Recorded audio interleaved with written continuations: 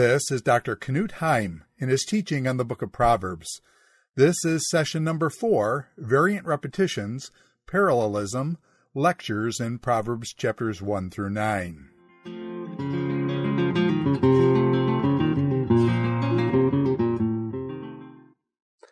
Welcome to lesson four on the biblical book of Proverbs.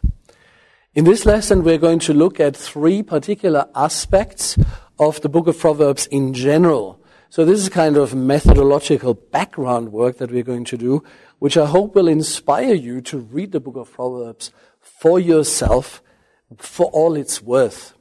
So the method is uh, kind of theoretical.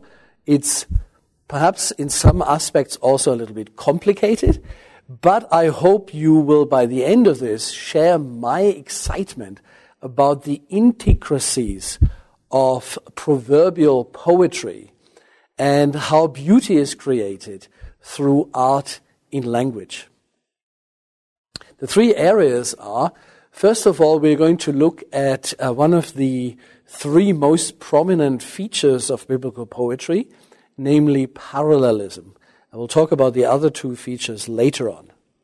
Then we're also going to look at a significant phenomenon that's very um, special in the book of Proverbs, which is what I call variant repetition. That means the repetition of similar verses in different parts of the book of Proverbs. Uh, one such example we've already seen with the partial repetition of chapter 1 verse 7 and chapter 9 verse 10 in the previous lecture in lecture 3.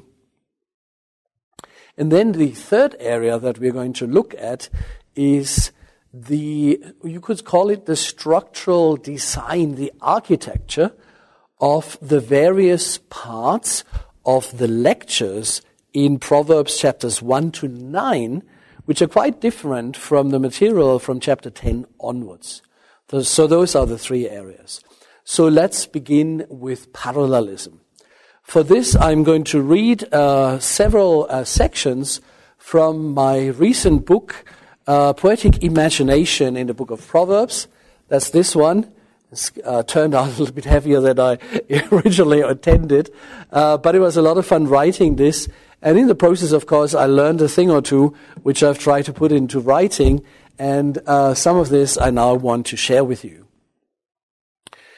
So, if we do a survey of scholarship on uh, parallelism in biblical poetry, uh, we need to notice, first of all, that for the last 250 years or so, the reigning paradigm for the study of Hebrew poetry and of parallelism in particular has been the, parallel, uh, the paradigm developed by uh, Bishop Robert Lowth in his famous lectures De Sacra Poesi Hebraeorum Praelectiones from 1753.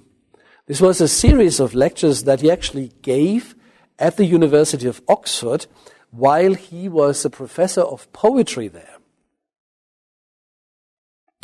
Um, Nonetheless, of course, in recent decades, especially since the 1980s, um, significant progress has been made. Um, and I now want to talk specifically, first of all, about the contributions of uh, Robert Lowth so that we get a sense of uh, kind of the context of the scholarly discussions of parallelism in biblical poetry. Over one third of the Bible is written in poetry. Just imagine that. Over one third of the Bible. The study, um, uh, as I mentioned, um, of parallelism in particular has been dominated by uh, Robert Lowth. Um, and the theory is usually nowadays um, known by its Latin name that uh, Lowth gave it, which is called parallelismus membrorum, which literally translated simply means a parallelism of the members. And to give you just one example, I think I want to choose one uh, that's very close to my heart, very dear to my heart, which is the opening verse of Psalm 103. Praise the Lord, O my soul, and all that is within me. Bless his holy name. And can you see how there is a parallelism of the members of the two halves of this double statement? It's one verse, but there are two halves to it. Let me just uh, repeat this. Um, Bless the Lord, O my soul, and all that is within me, bless his holy name. And you can see that in some ways the two halves of the verse are restatements of one another with variation, of course. Uh, Bishop Lowth called this synonymous parallelism because the two halves of the parallel uh, describe synonymous, similar things. Um,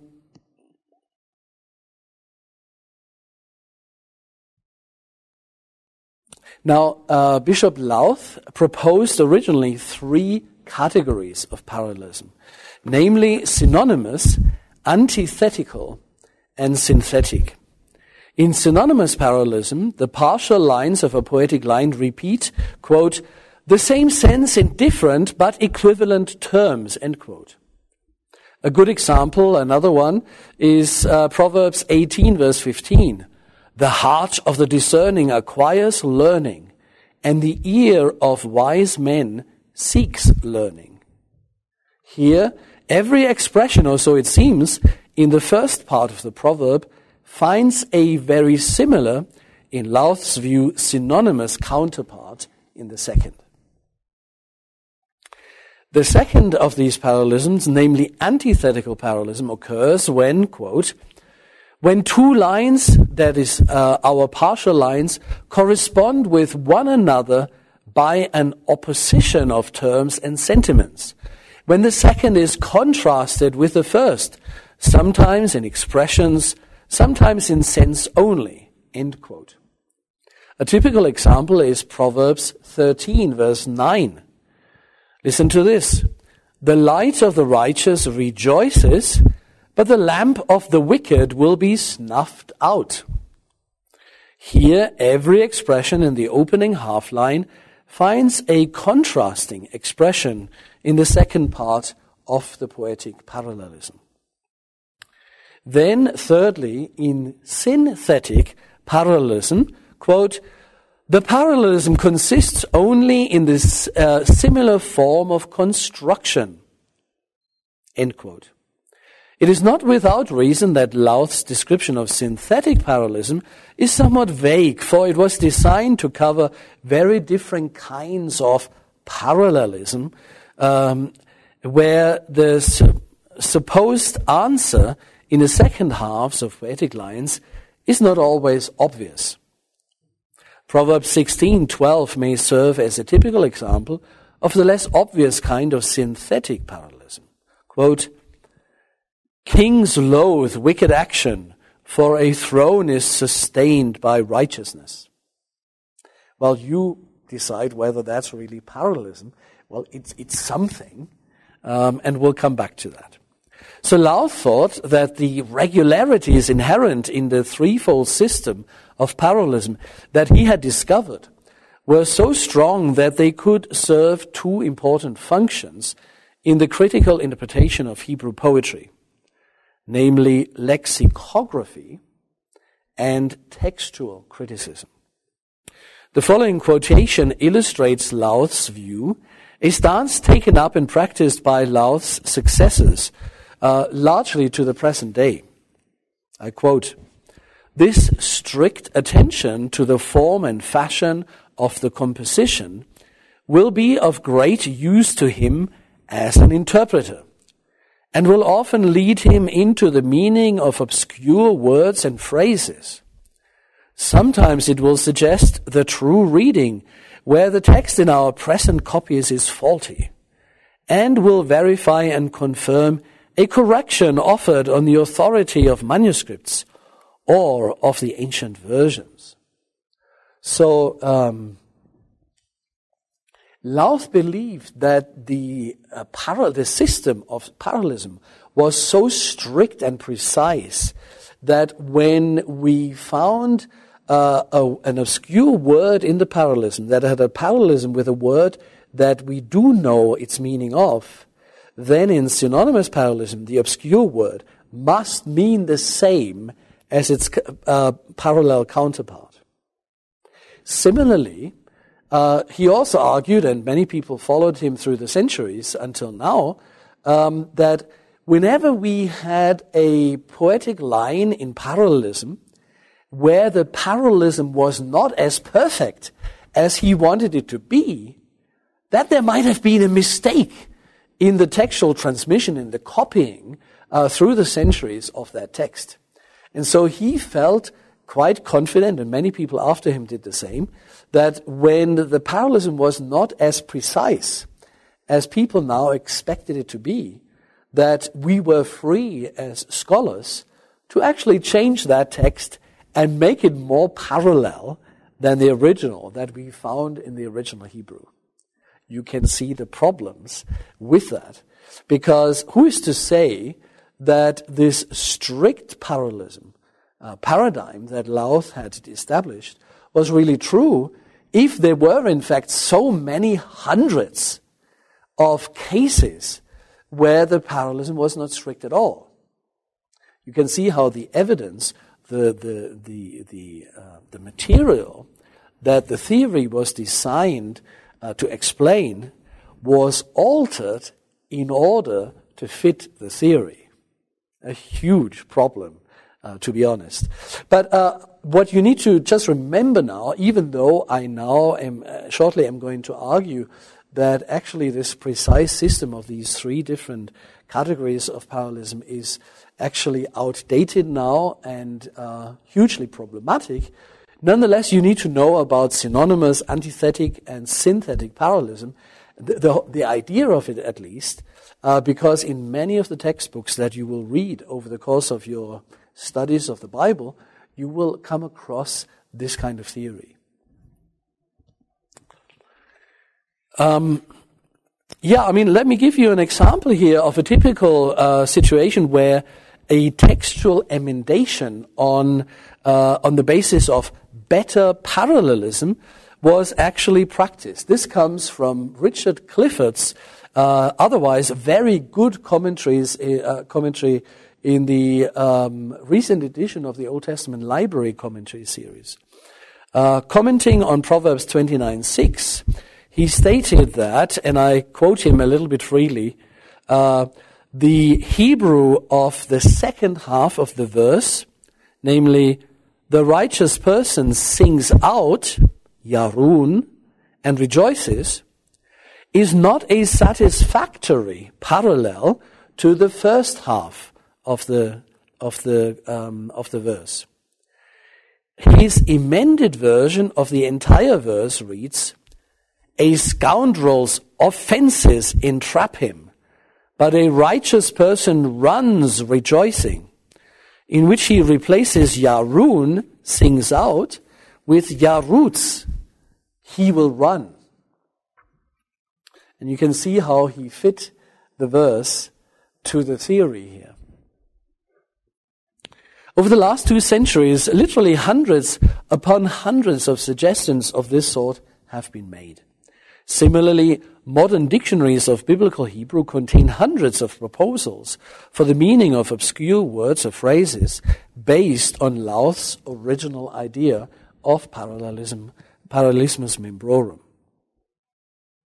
The apparent usefulness of parallelism for lexicography and textual criticism and the neat categorizations described above goes some way towards explaining the success and longevity of Lowth's version of parallelism. I uh, now uh, will actually go to the um, next chapter in my book, in which I will um, present a number of um, uh, proposals to widen the perspective of parallelism.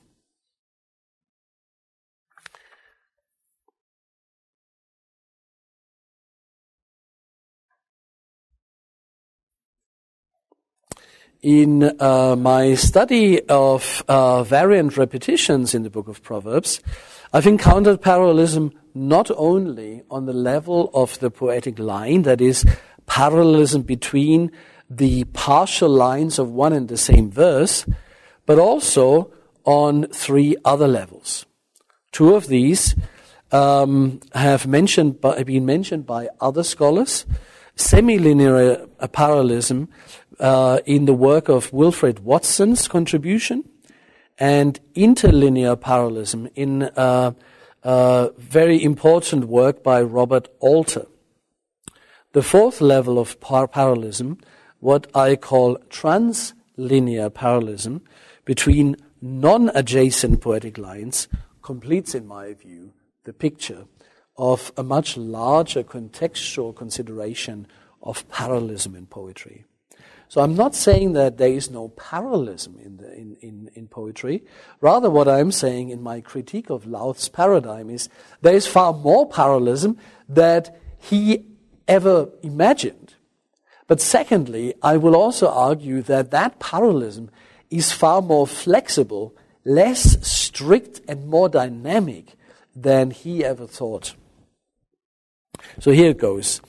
Um, and perhaps I should just say uh, that as I will develop this, um, I found after I had developed this scheme of the various levels of parallelism, I found um, a similar idea expressed in the work by uh, Dennis Pardee in a volume of uh, on Ugaritic and Hebrew poetry entitled Ugaritic and Hebrew Poetic Parallelism of 1988. So I want to acknowledge uh, this contribution, this very important contribution by a fellow scholar uh, who uses slightly different terminology, uh, but by and large is arguing for the same kind of phenomenon. Uh, so I start with what I call semi-linear parallelism. Uh, semi-linear in the sense of parallelism not on the level of the whole verse, but on uh, the level of a half verse. So that even the first half or the second half of a verse has in itself two parts that are parallel to one another. So this is on a lower level of, of uh, poetic uh, structure. Uh, so semi-linear parallelism is the first level of parallelism operating between the parts of the smallest poetic unit, what I call in my work the partial line. A good example is Proverbs chapter 6 verse 10, which is, by the way, identical with chapter 24 verse 33, a repetition of one and the same verse in different collections of the book of Proverbs. In English translation, the two verses read like this.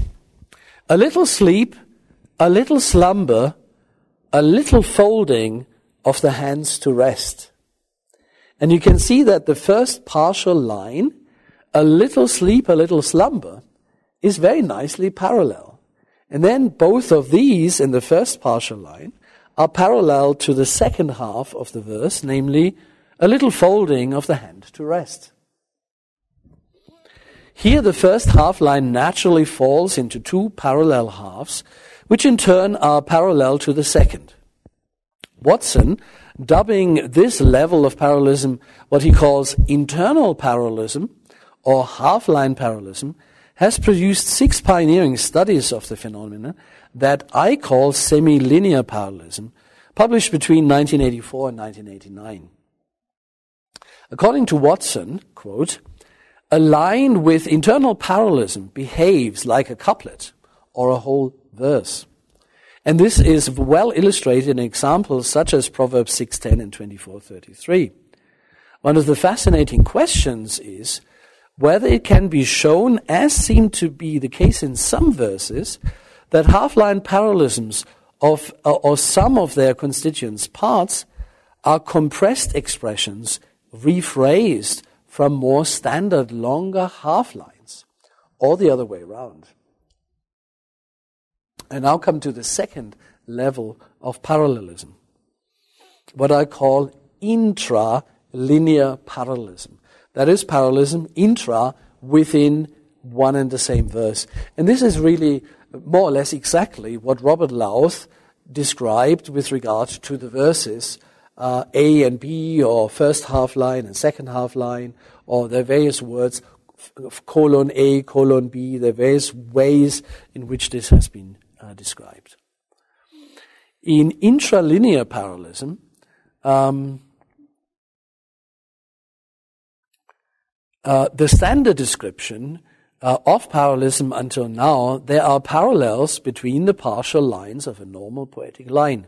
A crucial advantage of recognizing the various levels of parallelism is that the majority of cases where parallelism on the intralinear level is reduced or lacking altogether, it exists nonetheless on the other levels of parallelism. And I will show this in a minute.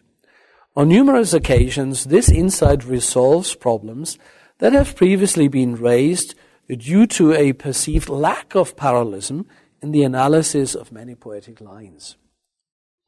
I now turn to interlinear parallelism. Inter, that is, between successive verses um, in a given poem or sequence of poetic verses or lines. Interlinear parallelism concerns the correspondence between adjacent poetic lines, as for example in Psalms 27:3 and Psalm 88:12 to 13. Examples from the book of Proverbs include, for example, Proverbs 2 verses 1 and 2, chapter 6 verses 16 to 19, and so on. The classic example of interlinear parallelism in the book are the adjacent verses Proverbs 26 verses 4 to 5. This is fun. Watch this. So, interlinear parallelism, the first verse and then the second verse. Um, I'll, I'll raise my left hand when I read the first verse, and I'll raise my right hand when I read the second verse.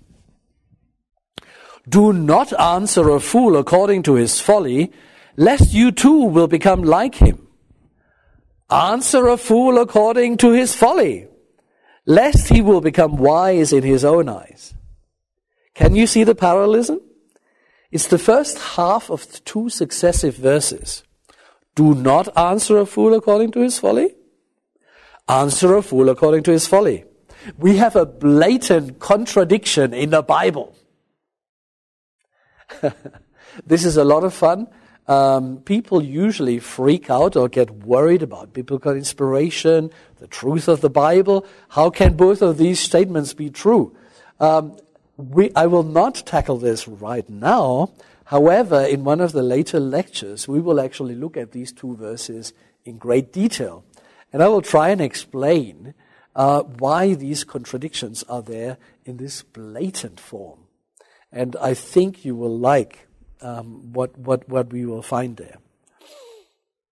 But for now, I just mention this as an example of interlinear parallelism. There's little or no parallelism on the intralinear levels of the two poetic verses. The parallelism rather exists between the two poetic lines, as I just explained earlier under intralinear parallelism. Okay, and now come to the final level, the largest level of parallelism, namely translinear parallelism. This is the level of parallelism that extends over the largest stretches of material. Translinear parallelism is my term for the correspondence between poetic lines that are separated by one or more intervening poetic lines as, for example, in Proverbs chapter 10, verse 6b, which is repeated in Proverbs chapter 10, verse 11b. And also, for example, Proverbs chapter 13, verse 1b, and Proverbs chapter 13, verse 8b. On all of these occasions, and there are many of these in, in the Bible, throughout the Bible, and also in the book of Proverbs, uh, there are several other verses between the poetic lines or partial lines that are parallel, yet these repetitions are so close together and similar enough for parallelism to be detectable by the attentive reader. So this parallelism of verses or parts of verses in relative proximity is the narrower sense in which I um, employ the term translinear parallelism.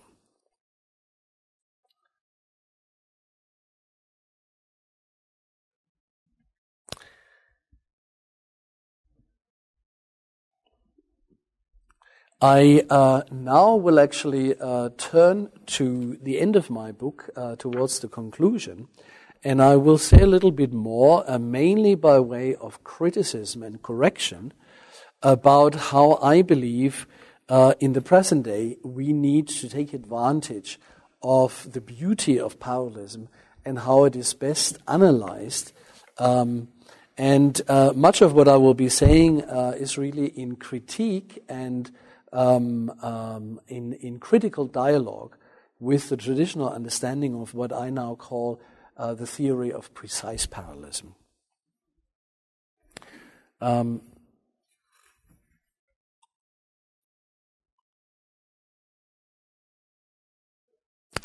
so, first of all, um, poetic parallelism, in my view, consists of repetition and variation, of difference and uh, similarity. This is perhaps the most important aspect of how I have come to understand poetic parallelism. So let me explain this a little bit further. Uh, so I want to talk now uh, for the next few minutes about the difference in parallelism. Um, John Goldingay, a very well-known uh, Old Testament scholar, um, has claimed in an article he's written about 20 years ago or so that Hebrew po- prosody, or uh, his term for poetry, Hebrew poetry, likes to combine repetition with variation. I would now uh, restate and develop his statement in my own words with the following. The creative combination of repetition with variation is the very essence of Hebrew poetry. And I believe this has uh, significant consequences for our understanding of the very, uh, of the very nature of proverbial poetry and other poetry as well. Most proverbs are not easy to understand and they are not meant to be. They demand diligent inquiry and exegesis, and we will um, go through many, many examples in the following lectures. Um, uh, recent professional inter- interpreters and general readers of Proverbs have simply not believed that uh, the statements that we discussed uh, in an earlier lecture in uh, chapter 1, verses 1 to 6, um, and in chapter 2, uh, which we will look at shortly, need to be taken seriously. And I would argue that this needs to change. We need to be far more sophisticated in our interpretation of these texts because the texts themselves are sophisticated. Just uh, let me remind you of that uh, famous example from chapter 26. How can there be such a blatant rep- um, contradiction in subsequent verses? Previously, people have said, well, this is just a contradiction and it's stupid. These people were not stupid. There was a reason why they did that. And it's our job to find out what that reason is.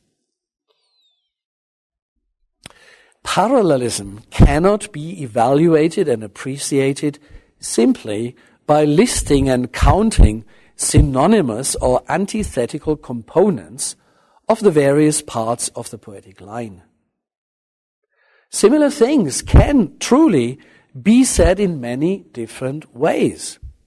And it is the differences between the various options that create the unique identity, meaning, and pragmatic impact of the many possible variations. Uh, in proverbial materials in general, and I'm increasingly convinced in Hebrew poetry um, and in general as well. Um, and um, uh, just to remind you uh, the difference in the repetition from uh, Proverbs 1, verse 7 to Proverbs 9, verse 10, where we discussed the meaning of uh, the reshit of knowledge uh, being uh, the fear of the Lord, um, is one example uh, to, to support this argument. So differences between parallel components in poetry resulting in what I call imprecise parallelism play a crucial role in the communication process and are evidence of poetic skill and creative potential. Sometimes poetic materials display a daring lack of correspondences of parallelism. Interesting kinds of parallelism are not the sort that display perfect or close synonymy or antithesis. Rather, they are those that are close enough for parallelism to remain discernible, yet sufficiently different to say something distinctive in each part of the parallel, so that it widens the perspective of what is said in the other parts of the poetic line. Each part thus illuminating and enhancing the other. So it is the differences between variants and between corresponding elements on the various levels of parallelism that are most interesting. It is here that new meanings and nuances arise that make the reading of the book of Proverbs such a fascinating adventure of the mind. In parallelism, expressions correspond to one another in ways that may be described as equivalent in the broad sense of the term. But they are distinct enough to be informative and interesting. Often a general sense of balance and the use of imagery such as similes or metaphors can serve as indicators of parallelism to create a sense of correspondence rather than total equivalence. The nature of the, the natural tendency for readers to attempt a clarification of the way this correspondence functions is what stimulates their imagination. I therefore recommend that the three tier system of synonymous, antithetic, and synthetic parallelism be replaced with detailed analyses of specific examples of poetic verses in their own right. These analyses should be flexible, specific, and imaginative. They should explain how the different parts of poetic lines interrelate. Often the imprecise nature of the parallelism allows a range of complex and highly productive implications and inferences that immensely enrich meaning and significance. So in my view, the evidence, the cumulative evidence suggests that we must abandon the classification of parallelism as a hallmark of biblical poetry. The designation hallmark is used as a guarantee of quality in the assessment of precious metals such as gold and silver. In a figurative sense, as in its use to describe the importance of parallelism in biblical poetry, parallelism has been understood as a distinguishing characteristic and as an indication of excellence. Traditionally, the juxtaposition of terms in poetic lines that create straightforward and precise parallelism have therefore been considered as a better kind of parallelism and by implication an example of better poetry. In my view, these sorts of value judgments are not warranted. Parallelism remains, of course, one of the most frequent features of biblical poetry. But it must content itself with a role alongside other poetical features.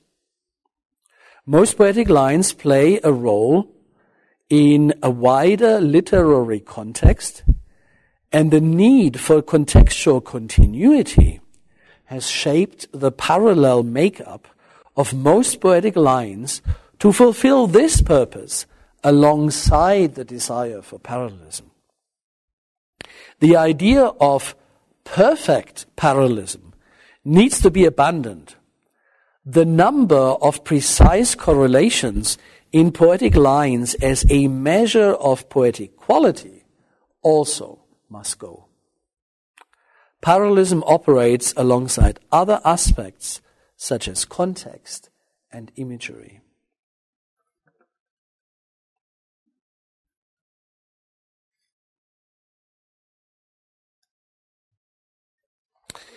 I now want uh, to talk a little bit about uh, slightly more unusual, more creative and interesting kinds of parallelism.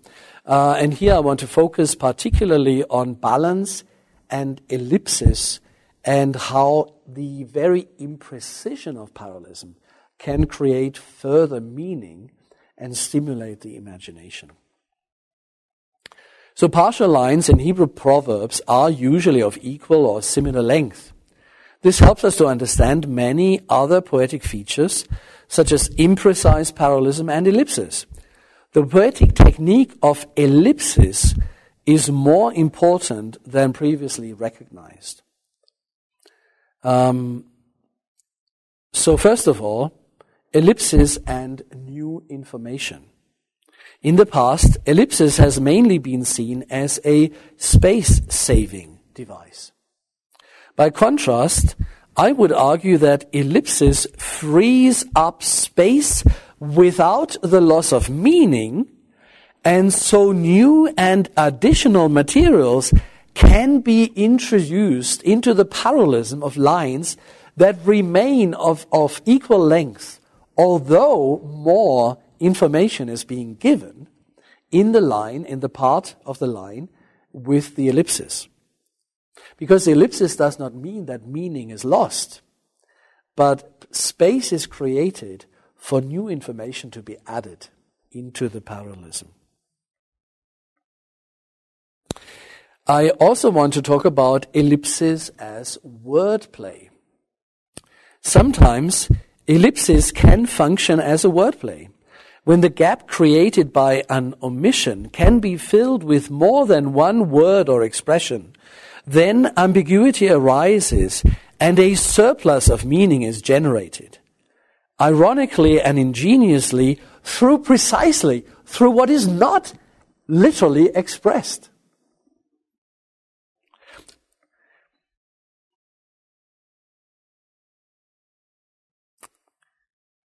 I want to argue that uh, imprecise parallelism has a poetic function and is, in fact, in its very imprecision, a very clever poetic technique.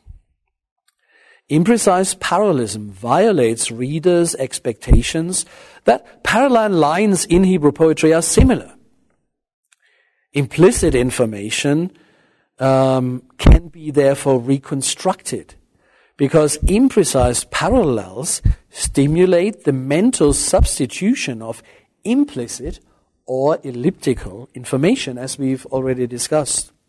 Thus, imprecise parallelism enhances the amount of information that the poetic line can convey because the imprecise contrasts imply their respective contrasts in the opposite half line. Sometimes several, again, several reconstructions are possible. And this is the sign of the poetic potential of imprecise parallelism, namely multivalence, a surplus of meaning, rather than a sign of flaws in its analysis. Imprecise parallelism also highlights the role of concision in poetry.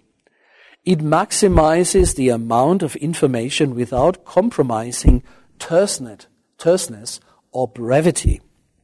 Brevity in Hebrew poetry and perhaps in all poetry is not an end in itself, but a means to engage readers and listeners in active and imaginative interpretation. It may function as a poetic technique to create ambiguity, deliberate ambiguity, and thus multiply meaning. So what we have here in the book of Proverbs and in its parallelism is an immense stimulus for imaginative engagement of the readers with the poetic beauty of the content of these wise sayings. So, in the um, this part of the lecture until now, we have been talking about uh, poetic parallelism, and um, I know it's gone quite technical, quite detailed, but I hope we are going to set the groundwork for an imaginative reading and interpretation of the Proverbs for the rest of this lecture series on the book. What I now want to talk about, uh, following straight on uh, from our consideration of poetic parallelism is poetic, um, sorry, biblical poetry and poetic imagination. What do I mean when I say that what has been written with imagination must be read with imagination? And again, I will largely draw on uh, the uh, summary and the conclusions um, from my book on poetic uh, para, uh, imagination. Um, in the book, and we will have some examples of this later on in the lecture series, um, uh, I have argued and shown, I believe, uh, succeeded in showing that most variant repetitions in the book of Proverbs are the result of skillful poetic creativity. Often um, we were able to reconstruct the editorial and creative poetic process, and uh, we could observe what poets did, how they did it, and why they did it. Attention to details has stimulated our own imagination, and in turn, we can now see the poetic imagination of the original poets at work. And we will look at some details of this, some examples later on. A practical application of our findings leads us to refine our approaches to the study of biblical poetry and encourages us to adapt our interpretive methods. And so, in the next few minutes, uh, I will first highlight some exegetical fallacies and suggest strategies for their eradication. Then I will propose analytical techniques for the determination of poetic correspondences. I will highlight the role of various interpretive skills and I will draw attention to the importance of the interpreter's imagination. So first of all, then, uh, some prominent exegetical fallacies. I have divided common uh, fallacies in exegetical procedures into four groups, but they're related mainly because of their common grounding in the theory of strict parallelism or precise parallelism. Uh, the first of these fallacies is references to other verses to settle ambiguities. And we've seen that example from Proverbs 1 7 and 9 10 as a clear illustration of that. An accepted method of settling ambiguities in poetry for a long time has been to refer to similar constructions elsewhere.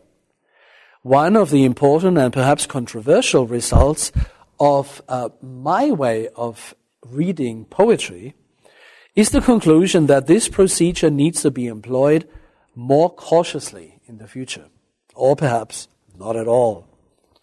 Comparison between variants and similar poetic expressions, of course, can tell us much about the meaning of the verses but not with the goal of assimilating their meanings to one another. The compulsion of many modern Western interpreters to remove ambiguity has frequently resulted in the appearance of totalizing truth claims in the Proverbs of the book of Proverbs when it was, in fact, the interpreters themselves who had robbed those proverbs of their nuances through their strict application of precise parallelism. Proverbs with rich ambiguity were then accused of being unrealistic or banal or uh, dogmatic. Ironically, these accusations then often came from the same scholars who had just robbed the Proverbs of their subtleties and multivalence. It's quite funny, really. In reality, however, subtle nuances often signal significant changes in meaning, and comparisons should focus on these in order to discover the unique aspects of each poetic utterance and then interpret it on its own terms. If comparisons utterly cannot reduce ambiguity, so be it. Ambiguity is very frequently the point of the poetic statement. A, a second fallacy is what I would call uh, poetic parallelism, lexicography, and textual criticism. Uh, Bishop Lowth, as we have seen, saw precise parallelism as a sure-proof passage to the meaning of obscure words and as an aid to contextual emendations. Subsequent generations of interpreters have used it in lexicography and textual criticism.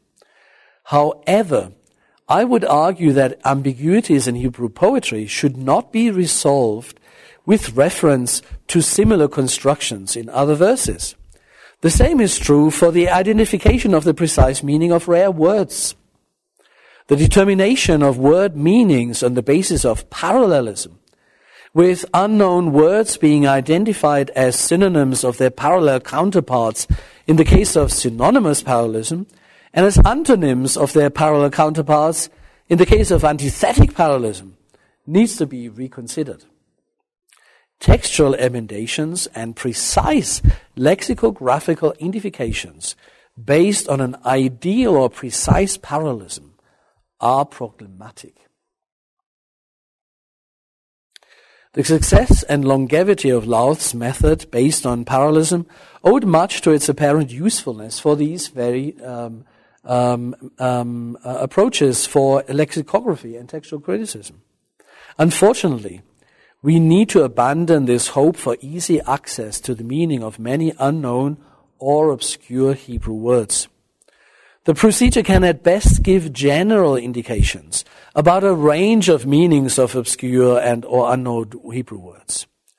All word meanings in Hebrew dictionaries that have been reconstructed on the basis of precise parallelism need to be re-examined, and many will need to be abandoned. This does not mean that all textual emendations or lexicograph- lexicographical proposals based on parallelism are wrong, but our findings certainly call for caution. These proposals need to be tested again in the light of recent developments. Uh, thirdly, I want to talk about the exegetical fallacy of what I call better parallelism. Uh, we have seen an example um, uh, proposed by Richard Clifford a little bit earlier in the lecture. The widely practiced procedure of improving the text of actual poetic lines on the basis of an apparently better parallelism is, in my view, an exegetical fallacy. Admittedly, interpretations based on pe- better parallelism can sometimes be used with benefit, as long as they are used heuristically and with due caution, rather than as a methodological fix-all.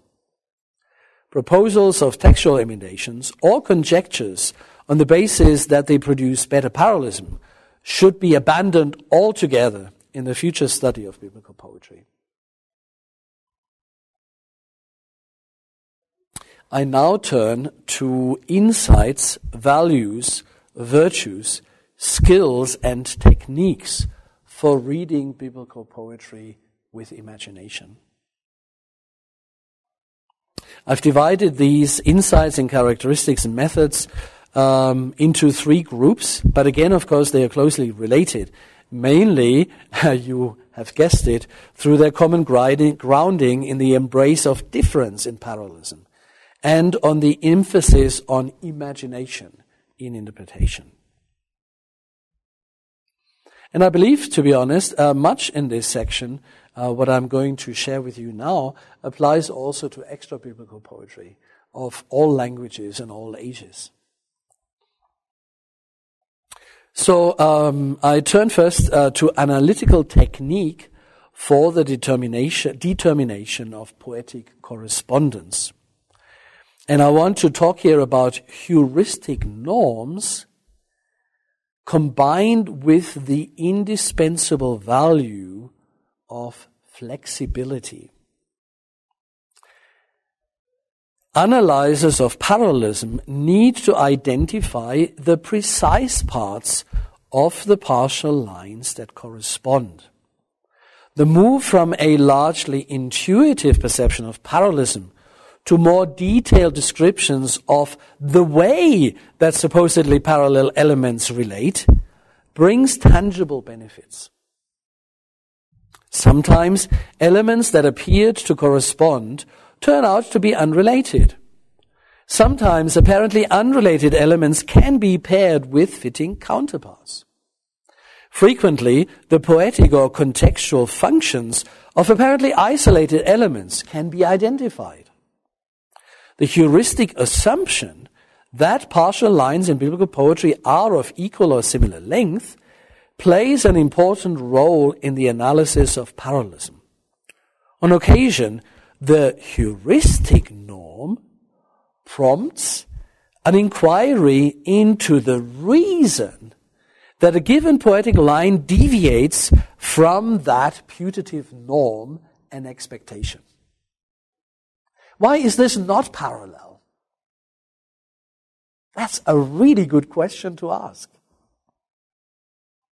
We have seen throughout um, that precise parallelism actually is rare in the book of Proverbs, and I will show you more and more examples as we go through the lecture series.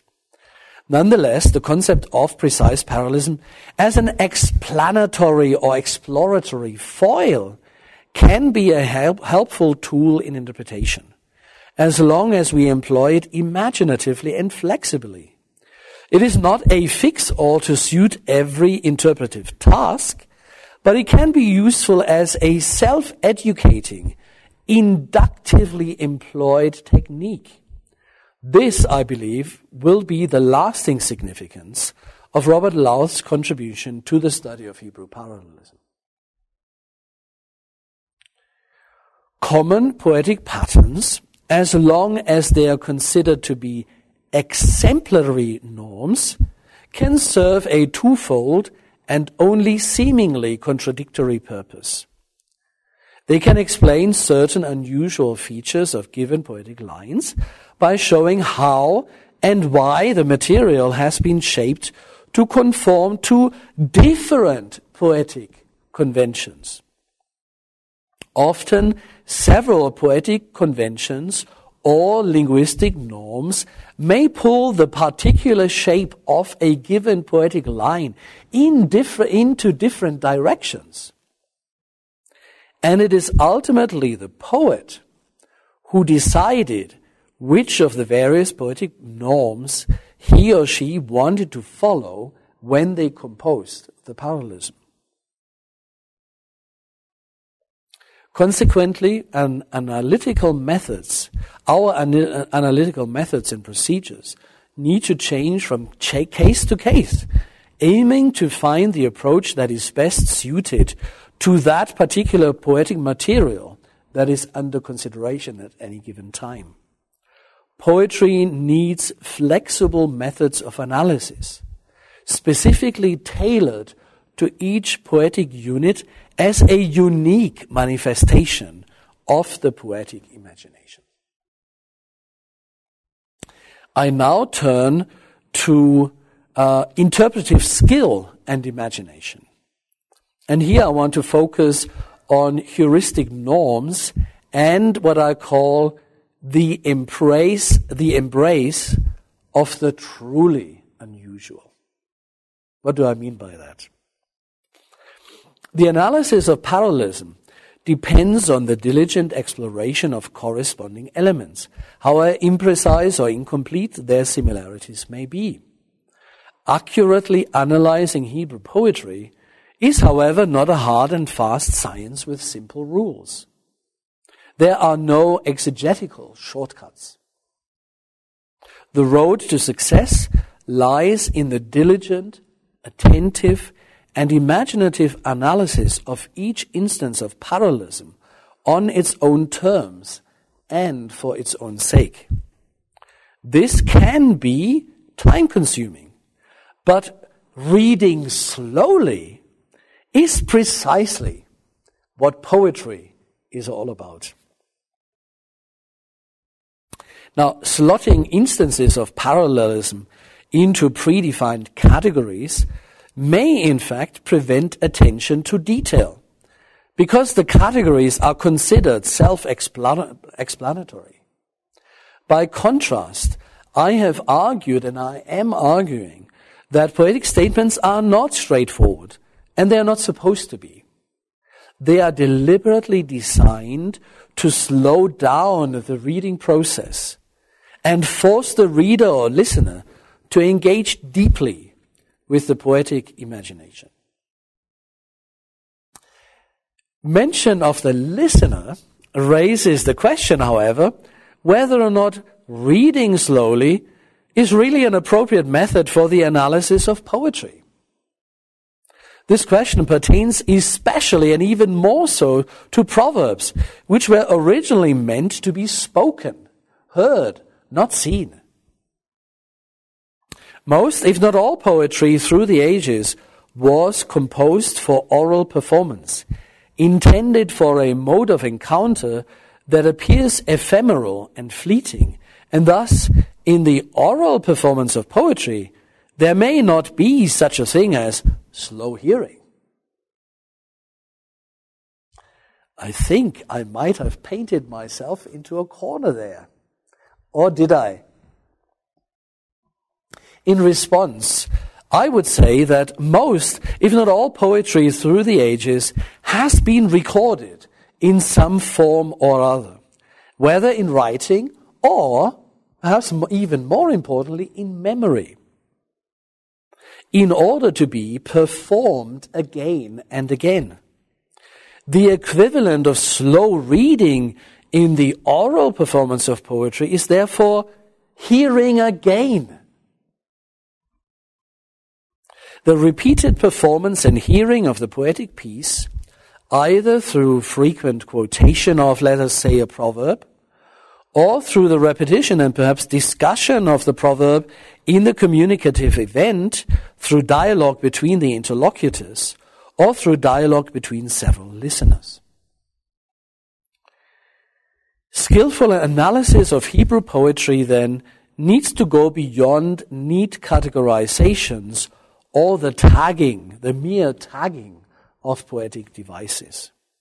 Rather, it relies on intuition and flexibility, on paying attention to all aspects of the poetic language at the same time, and perhaps most importantly, on embracing the unusual. While poetry as such, of course, is unusual, when judged from the perspective of prose as the norm, the very notion of poetry breaking the norm surely is misguided. Many of the earliest pieces of writing across a wide spectrum of cultures were poetic. Poetry has always been at the center of human thought and communication. Consequently, poetry is as much the norm of human communication as prose. The key question then is this. What is the nature of the unusual in poetry? If poetry revels in what is unusual in prose, then such unusual features are the norm in poetry. Thus, knowing and understanding the pattern of these unusual features is important. And this is what traditional manuals of poetics teach well. What these manuals do not convey as well is what I want to call the truly unusual. The truly unusual in poetry is not the unusual features that conform to our expectations of unusual features of poetry, which is the pattern, but those features that surprise even the readers and hearers who know the poetic genre well.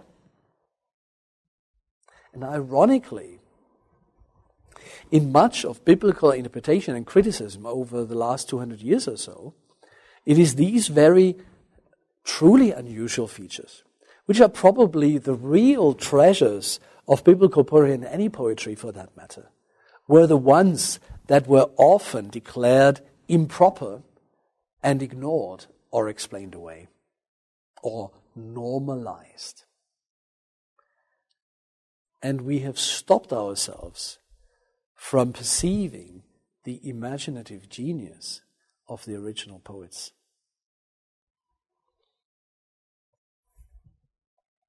These sorts of truly creative features of poetry are, of course, hard to pin down. And this is where, again, I want to say intuition and imagination become crucial. Imaginative and skillful interpretation of poetry recognizes poetry as a normal form of human communication. It values the unusual features of poetry as normal features of the poetic language. And it also, and even more so, celebrates the truly unusual as the supreme expression of the poetic imagination. In other words, it values the normal features of poetic expression and celebrates the truly unusual. Truly unusual features of poetry surprise, delight, and invite the readers and listeners to engage deeply with the poetic imagination. And uh, these statements that I've just shared about what I consider to be the truly unusual, I would say has probably been the most rewarding and most exciting discovery for me in my engagement with the book of Proverbs. And I think, um, if nothing else, um, this can make a real impact and difference in the way in which we read biblical poetry, and to, for, for any poetry for that matter. I uh, finally want to say something about ambiguity, word plays, and interpretive skill. Ambiguity is prominent and valuable in biblical poetry. This simple but profound insight will enrich the modern interpretation of poetry. More wordplay, more wordplays will be discovered. More examples of the types of wordplays that have been considered rare will surface. The pressure on interpreters to arrive at definitive single meanings will ease many so called interpretive cruces, um, uh, difficulties in text that have been declared as unsolvable, as insolvable, will actually be resolved because we will be discovered that they were in the first place prompted by deliberate ambiguity intended to create multivalence. Apparent cruces will be celebrated as what they are instances of poetic ingenuity. So, good practice in the academic training of biblical scholars should prepare us to read the texts with imagination and openness to subtleties, such as the sort we have encountered and will encounter in this lecture series on the book of Proverbs. Interpreters of biblical poetry and of proverbial poetry in particular need the technical skill necessary to recognize word plays when they see them. They need interpretive virtues such as diligence, imagination, courage, and wisdom. Diligence will enable them to discover poetic subtleties. Imagination will help them to discover and value multiple meanings. Courage will empower them to live with open questions regarding the various possible meanings of poetic utterances. Wisdom will open their eyes to the modern relevance of proverbial materials and guide them in the appropriate application of biblical uh, proverbs.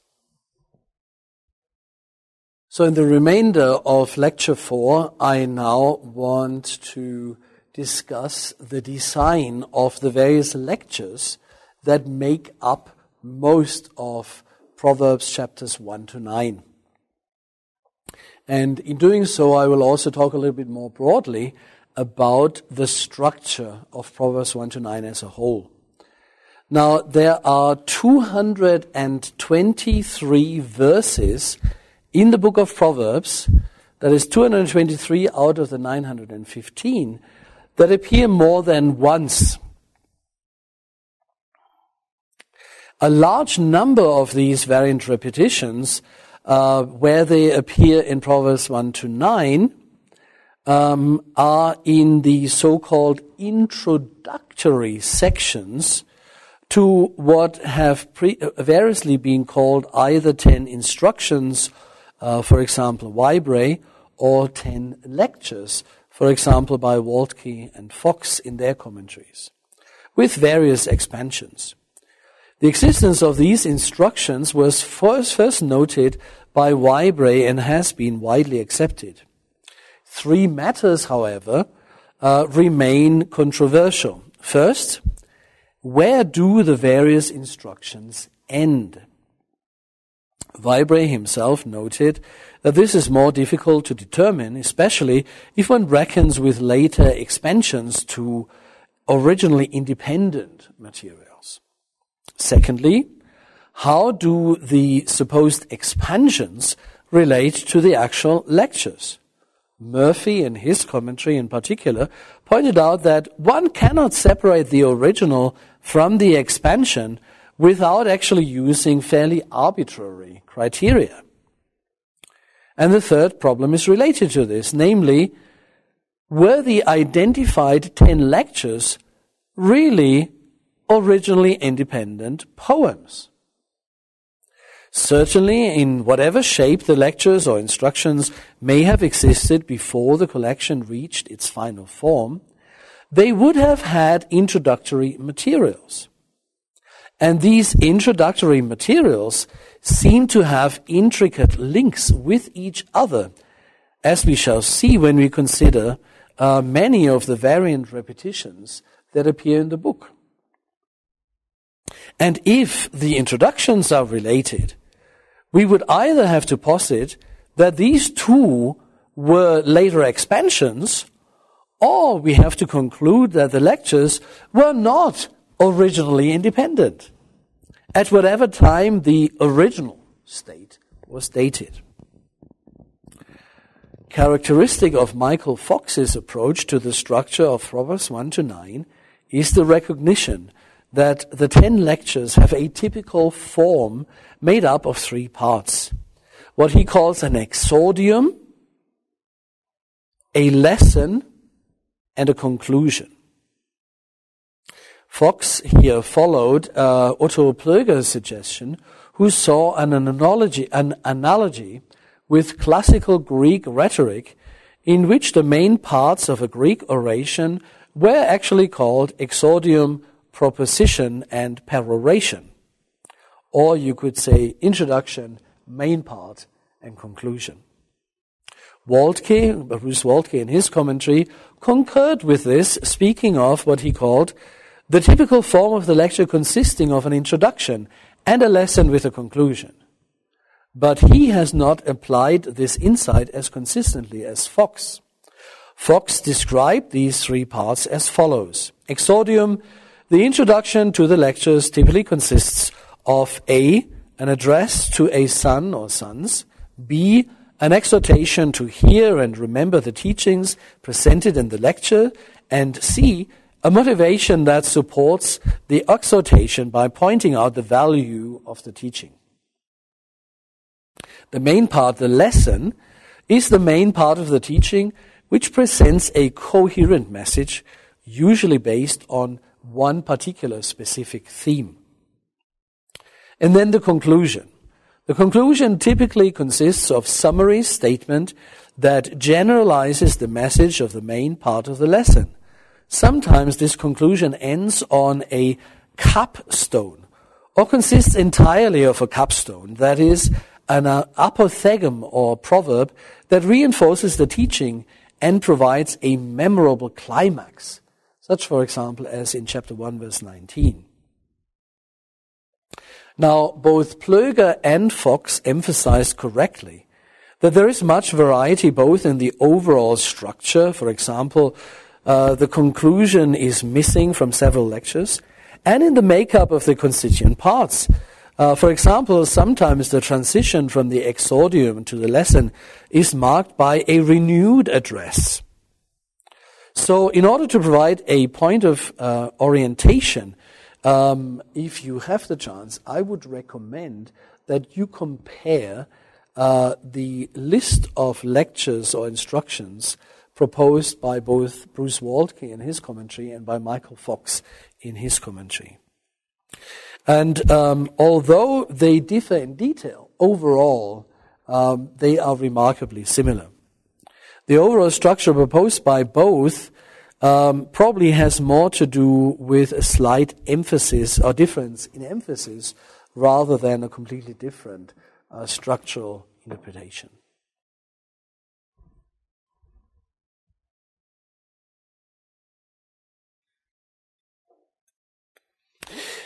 I want to conclude now um, with um, perhaps just some comments on where repeated proverbs appear, variant repetitions appear, uh, in the first nine chapters. Um,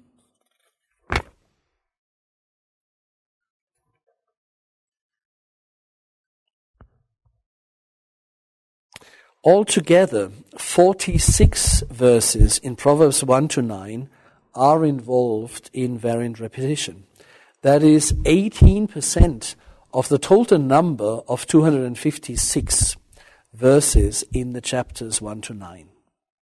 On most occasions, all the variants in a given set reappear within chapters 1 to 9.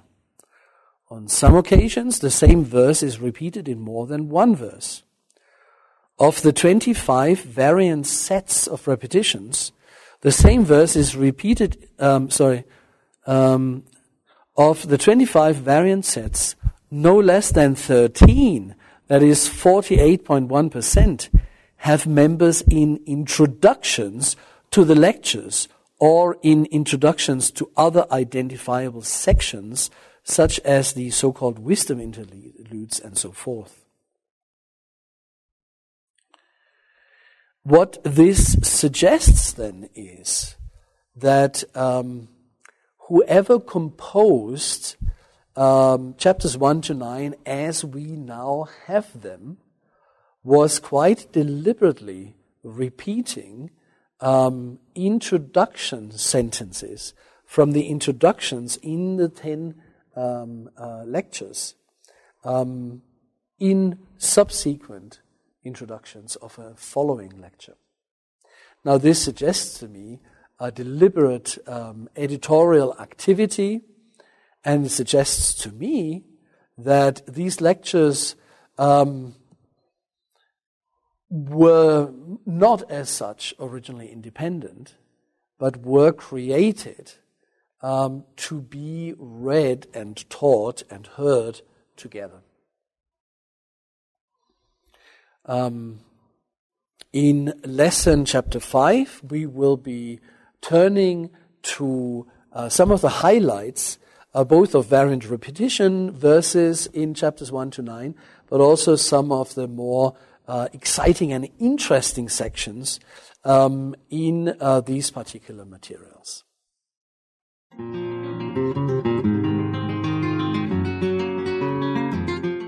This is Dr. Knut Heim in his teaching on the book of Proverbs. This is session number four Variant Repetitions, Parallelism, Lectures in Proverbs chapters 1 through 9.